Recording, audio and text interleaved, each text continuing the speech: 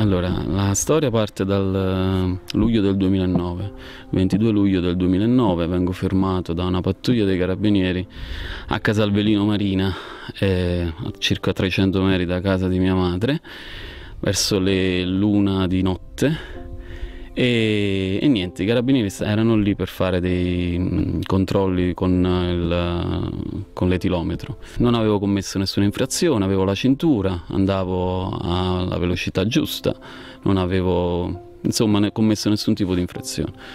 Faccio il, l'esame, il test. Il primo, al primo test risulta un tasso alcolemico pari a 0,9, al secondo a 1,1. In pratica l'equivalente di mm, due birre medie.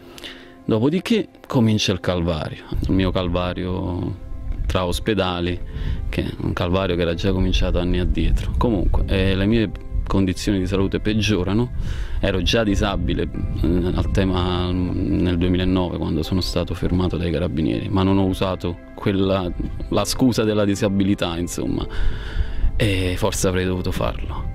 Nel 2011 purtroppo al seguito di tanti interventi e si decide di, di procedere all'amputazione dell'arto perché è l'unica, cosa che può insomma, cercare di, di, di salvare un po' la mia situazione fisica.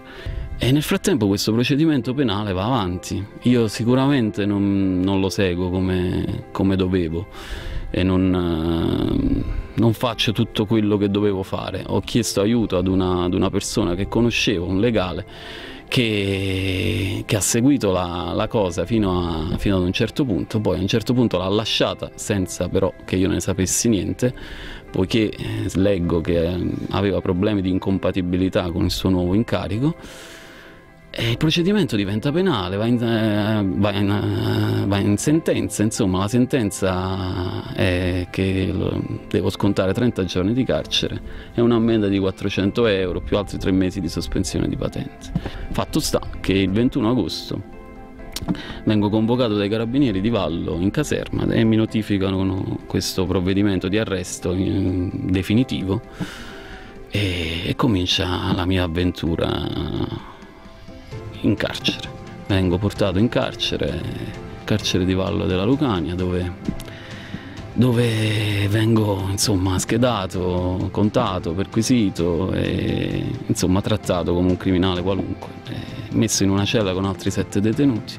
Non era un carcere adatto per chi aveva commesso un, un reato come il mio e d'altronde era assolutamente sovraffollato e invivibile potevo avere accesso a una serie di, di, provvedimenti alternativi al carcere, dovevo avere accesso a una serie di provvedimenti alternativi al carcere, sarebbe bastata fare un'istanza che non è stata fatta sicuramente perché io non ho seguito il caso a fondo come dovevo, c'è stata noncuranza da parte mia, mi prendo tutta la colpa su questo, però bisogna anche capire che una persona che, che sta vivendo un dramma Mm, non si, non si, interessa tanto di, di, di, di seguire un iter o una pratica che sembrava, insomma, io, io, credo di aver pagato ben abbondantemente con, con sosp la sospensione di patente, col fatto che non ho avuto la patente per anni. Poi vengo trasferito in, appunto in questo carcere di, di Salerno e, e da lì non sento più nessuno, non sento più il mio avvocato non ho più notizie. I miei amici, i miei amici fuori, i miei parenti, mia sorella, il mio amico Romeo e sua sorella Silvia si danno un grande affare per capire cosa fare per farmi uscire, perché i giorni passavano e, e non si riusciva ad, questi, ad, ottenere questi benedetti domiciliari. E sono state dette delle inesattezze eh, sicuramente perché non è vero che mi hanno tolto la protesi in, in carcere, mi hanno soltanto impedito di deambulare con i bastoni e di tenere il bastone col quale mi accompagno quando porto la protesi. Comunque eh, la mia situazione era assolutamente disagevole, non potevo sicuramente vivere il regime carcerario come lo facevano gli altri. E non era, non era prevista una, una, una cella per disabili oppure approntata per disabili, insomma era una condizione per me molto scomoda e molto dura io una, sono amputato ad altezza dell'anca, sono un disarticolato d'anca, sono, quindi una disabilità importante, certo anche se mi è stato riconosciuto soltanto un'invalidità pari al 75%. E, niente, è una disabilità di una certa importanza. Immagina di dover vivere con una gamba sola.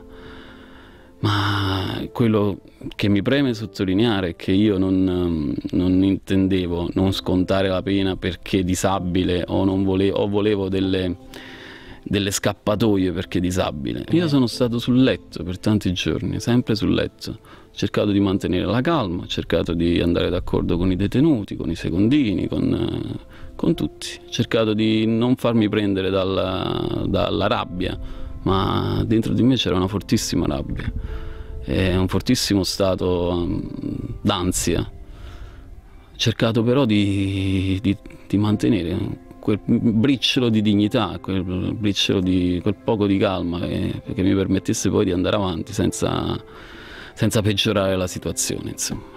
E il carcere per me stava diventando veramente duro, soprattutto non sapere quando sarei uscito e sapere che tanta gente si è mobilitata, tanti amici si sono mobilitati per farmi uscire, hanno, si sono messi in prima persona, hanno rischiato tutto per, eh, per cercare di far sì che, che venissi liberato e per me è una cosa che, che, che mi commuove insomma, e che mi dà forza, mi dà coraggio eh, sapere di avere persone che ti vogliono bene, che lottano per te, eh, è una cosa che, che fa bene.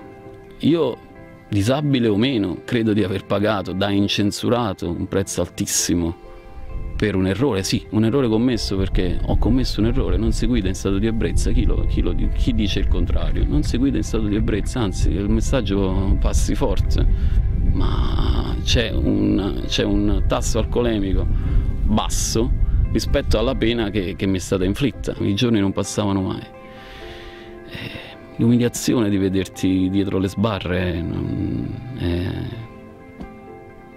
è indescrivibile si vede che sono disabile, se devo trascinarmi delle, delle borse dietro o devo essere portato in, una, in, un altro reparto, in un'infermeria o, o, in un ospedale, non devo essere costretto a indossare manette, eh, non devo chiederlo come, come, un piacere, non devo supplicare di non, di non, essere trattato come un criminale, dovrebbe essere una cosa, che, una cosa so, semplice da, da, vedere, invece non è così, sei sempre lì a, dover, a doverti umiliare per...